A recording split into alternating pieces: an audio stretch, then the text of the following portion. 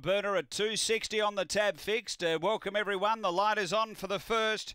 Buddy Guy at $3 the uh, next best. We're ready.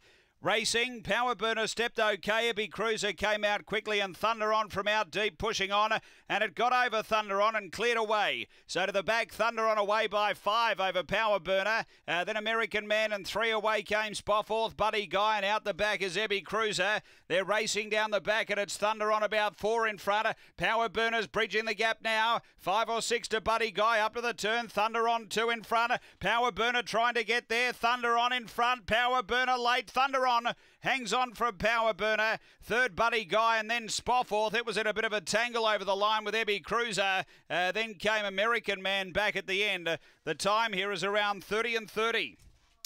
Race one. And uh, too good here. Thunder on. Able to get over and find the lead. And um, he was uh, clearly in front. There was trouble in behind, and he slipped away with a five or six length lead early. Numbers are 8, 1, 2, and 7. Eight Thunder on. Wendy Sebastian. Uh,